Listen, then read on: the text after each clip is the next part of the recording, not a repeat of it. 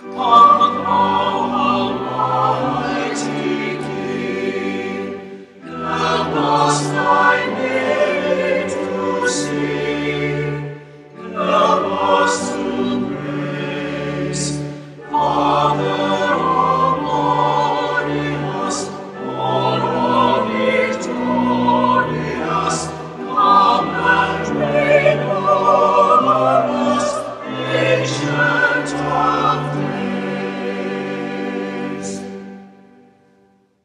In the name of the Father, and of the Son, and of the Holy Spirit. Amen.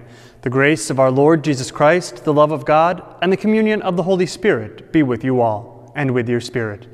My brothers and sisters, let us acknowledge our sins, and so prepare ourselves to celebrate the sacred mysteries.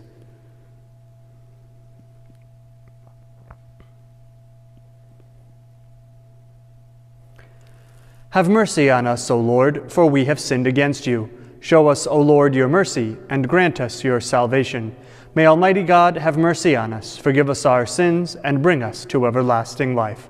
Amen. Let us pray.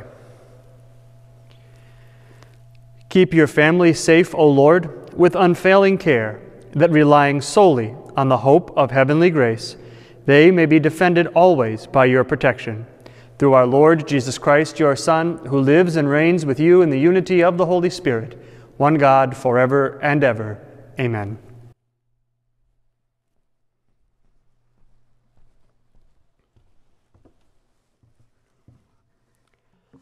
A reading from the book of Genesis. God said, Let the water teem with an abundance of living creatures, and on the earth let birds fly beneath the dome of the sky. And so it happened. God created the great sea monsters and all kinds of swimming creatures with which the water teems, and all kinds of winged birds. God saw how good it was, and God blessed them, saying, Be fertile, multiply, and fill the water of the seas, and let the birds multiply on the earth. Evening came, and morning followed, the fifth day. Then God said, Let the earth bring forth all kinds of living creatures, cattle, creeping things, and wild animals of all kinds. And so it happened. God made all kinds of wild animals, all kinds of cattle, and all kinds of creeping things of the earth. God saw how good it was. Then God said, Let us make man in our image, after our likeness. Let them have dominion over the fish of the sea, the birds of the air, and the cattle, and over all the wild animals, and all the creatures that crawl on the ground. God created man in his image. In the divine image he created him. Male and female, he created them.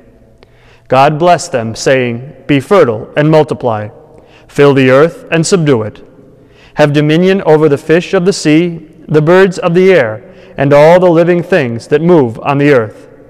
God also said, See, I give you every seed bearing plant all over the earth, and every tree that has seed bearing fruit on it, to be your food. And to all the animals of the land, all the birds of the air, and all the living creatures that crawl on the ground. I give all the green plants for food. And so it happened. God looked at everything he had made, and he found it very good. Evening came, and morning followed, the sixth day. Thus the heavens and the earth and all their array were completed. Since on the seventh day God was finished with the work he had been doing, he rested on the seventh day from all the work he had undertaken. So God blessed the seventh day and made it holy, because on it he rested from all the work he had done in creation. Such is the story of the heavens and the earth at their creation. The word of the Lord. Thanks be to God. O Lord our God, how wonderful your name in all the earth. O Lord our God, how wonderful your name in all the earth.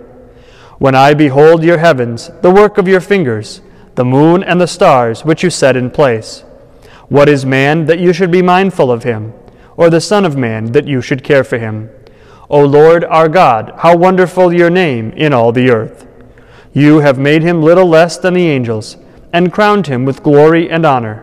You have given him rule over the works of your hands, putting all things under his feet. Lord our God, how wonderful your name in all the earth! All sheep and oxen, yes, and the beasts of the field, the birds of the air, the fishes of the sea, and whatever swims on the paths of the seas. O Lord our God, how wonderful your name in all the earth.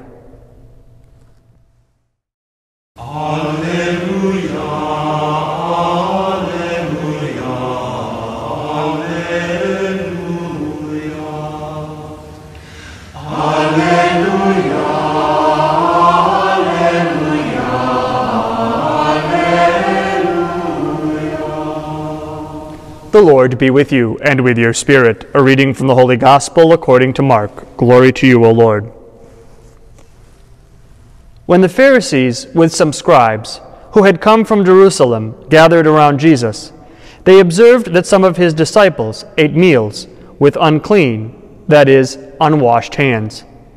For the Pharisees, and in fact all Jews, do not eat without carefully washing their hands, keeping the tradition of the elders and on coming from the marketplace, they do not eat without purifying themselves. And there are many other things that they have traditionally observed the purification of cups and jugs, and kettles and beds. So the Pharisees and scribes questioned him, Why do your disciples not follow the tradition of the elders, but instead eat a meal with unclean hands? He responded, Well, did Isaiah prophesy about you hypocrites? As it is written, the people honors me with their lips, but with their hearts are they are far from me. In vain do they worship me, teaching as doctrines human precepts. You disregard God's commandment, but cling to human tradition. And went on to say, How well you have set aside the commandment of God in order to uphold your tradition.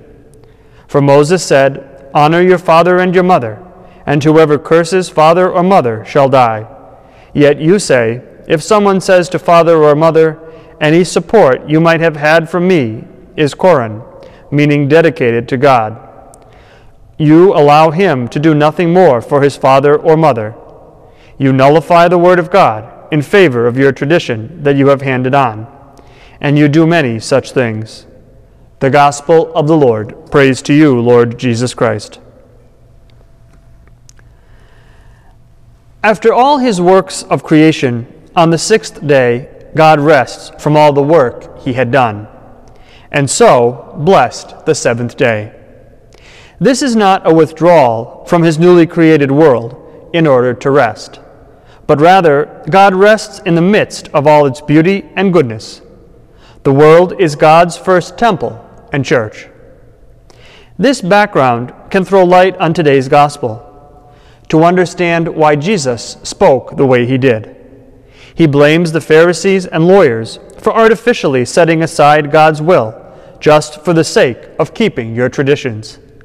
To wash and clean our food before eating is, of course, good, but only done in a spirit of respect for others.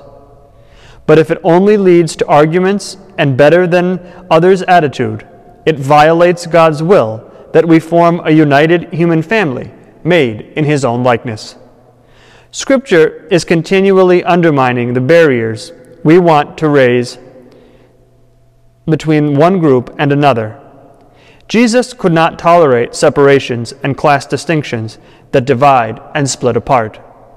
Any of us who promote decisiveness need to examine if the warning applies to them.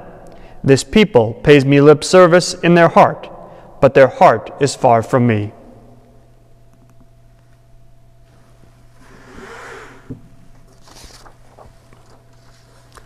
With trust in God, we turn to Him with our prayers.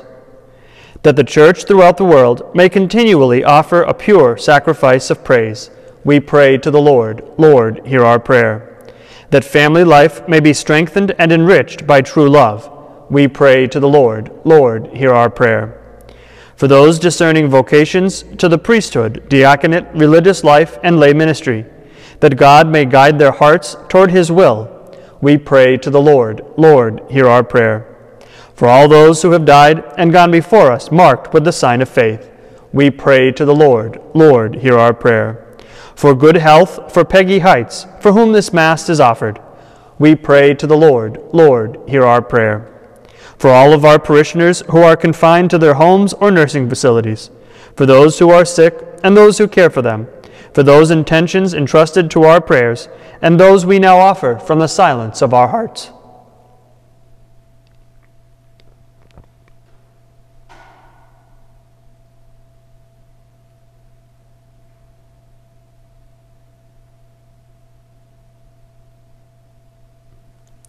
We pray to the Lord, Lord, hear our prayer.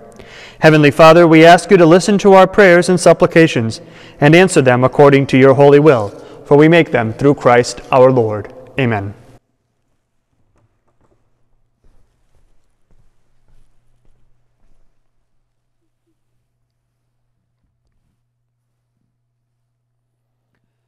Blessed are you, Lord God of all creation, for through your goodness we have received the bread we offer you, fruit of the earth and work of human hands. It will become for us the bread of life.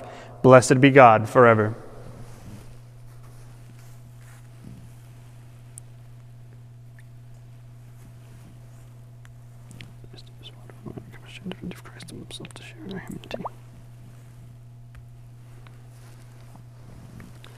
Blessed are you, Lord God of all creation, for through your goodness we have received the wine we offer you, fruit of the vine and work of human hands. It will become our spiritual drink. Blessed be God forever.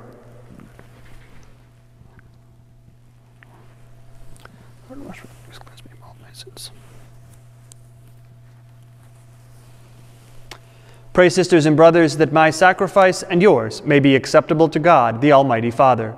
May the Lord accept the sacrifice at your hands for the praise and glory of his name, for our good and the good of all his holy church. O Lord our God, who once established these created things to sustain us in our frailty, grant, we pray, that they may become for us now the sacrament of eternal life, through Christ our Lord. Amen. The Lord be with you, and with your spirit. Lift up your hearts. We lift them up to the Lord. Let us give thanks to the Lord our God. It is right and just. It is truly right and just, our duty and our salvation, always and everywhere to give you thanks, Lord, Holy Father, Almighty and eternal God, through Christ our Lord. In him you have been pleased to renew all things, giving us all a share in his fullness. For though he was in the form of God, he emptied himself and by the blood of his cross brought peace to all creation. Therefore, he has been exalted above all things, and to all who obey him has become the source of eternal salvation. And so, with angels and archangels, with thrones and dominions, and with all the hosts and powers of heaven, we sing the hymn of your glory, as without end we acclaim Holy, holy, holy, Lord God of hosts. Heaven and earth are full of your glory. Hosanna in the highest. Blessed is he who comes in the name of the Lord. Hosanna in the highest. You are indeed holy, O Lord, the fount of all holiness. Make holy, therefore, these gifts, we pray, by sending down your Spirit upon them like the dewfall, so that they may become for us the body and blood of our Lord Jesus Christ. At the time he was betrayed and entered willingly into his passion, he took bread and giving thanks broke it, and gave it to his disciples, saying, Take this, all of you, and eat of it, for this is my body, which will be given up for you.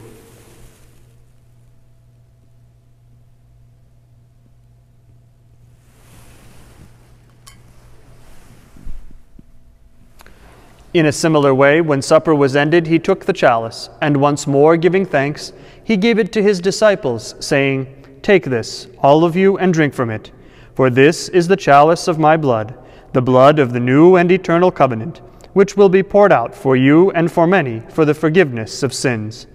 Do this in memory of me.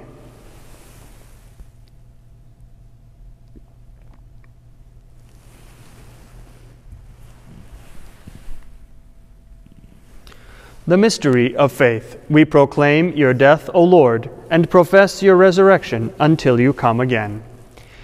Therefore, as we celebrate the memorial of his death and resurrection, we offer you, Lord, the bread of life and the chalice of salvation, giving thanks that you have held us worthy to be in your presence and minister to you. Humbly we pray that partaking of the body and blood of Christ, we may be gathered into one by the Holy Spirit.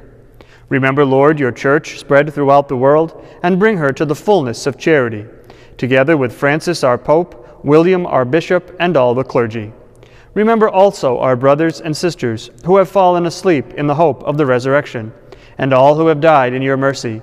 Welcome them into the light of your face. Have mercy on us all, we pray, that with the Blessed Virgin Mary, Mother of God, with blessed Joseph, her spouse, with the blessed apostles and all the saints who have pleased you throughout the ages, we may merit to be co heirs to eternal life, and may praise and glorify you through your Son, Jesus Christ. Through him, and with him, and in him, O God, Almighty Father, in the unity of the Holy Spirit, all glory and honor is yours, forever and ever. Amen. At the Savior's command, and formed by divine teaching, we dare to say, Our Father, who art in heaven, hallowed be thy name. Thy kingdom come, thy will be done, on earth as it is in heaven. Give us this day our daily bread, and forgive us our trespasses, as we forgive those who trespass against us. And lead us not into temptation, but deliver us from evil. Deliver us, Lord, we pray, from every evil. Graciously grant peace in our days, that by the help of your mercy we may be always free from sin and safe from all distress, as we await the blessed hope and the coming of our Savior, Jesus Christ. For the kingdom, the power, and the glory are yours, now and forever. Lord Jesus Christ, who said to your apostles, Peace I leave you, my peace I give you, look not on our sins, but on the faith of your church, and graciously grant her peace and unity in accordance with your will, who live and reign forever and ever. Amen. The peace of the Lord be with you always, and with your spirit. Agnus Dei, qui tollis peccata mundi, miserere nobis. Agnus Dei, qui tollis peccata mundi, miserere nobis. Agnus Dei, qui tollis peccata mundi, dona nobis pacem. Behold the Lamb of God, behold him who takes away the sins of the world. Blessed are those who are called to the supper of the Lamb. Lord, I am not worthy that you should enter under my roof, but only say the word, and my soul shall be healed.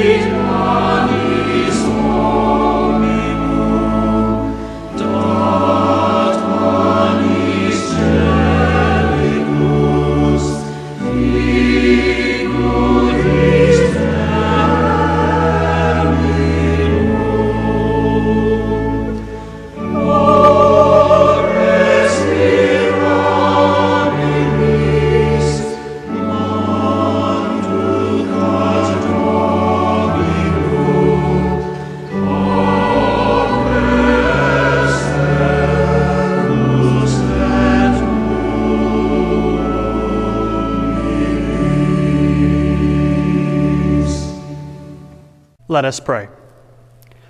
O God, who have willed that we be partakers in the one bread and the one chalice, grant us, we pray, so to live that made one in Christ, we may joyfully bear fruit for the salvation of the world. Through Christ our Lord. Amen. The Lord be with you and with your spirit. May Almighty God bless you, the Father, the Son, and the Holy Spirit. Amen. The Mass is ended. Go in peace. Thanks be to God.